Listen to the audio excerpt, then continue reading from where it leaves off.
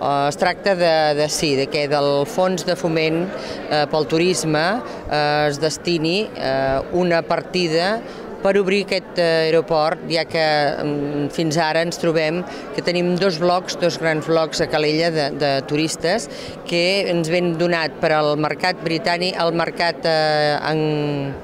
alemany i el mercat eh, també rus. O sigui, el mercat rus ens l'hem treballat moltíssim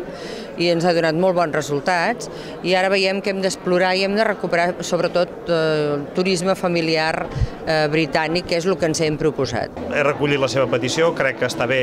que anem donant cada vegada més una visió estratègica al voltant del turisme de les nostres infraestructures, sobretot de comunicació. Els aeroports són fonamentals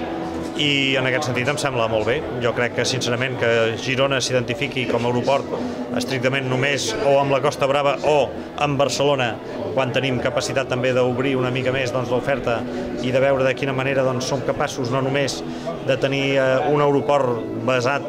amb companyies de low cost, sinó que també podem treballar doncs, al mercat dels xàrters, dels turoperadors. Bé, tot això ho intentarem.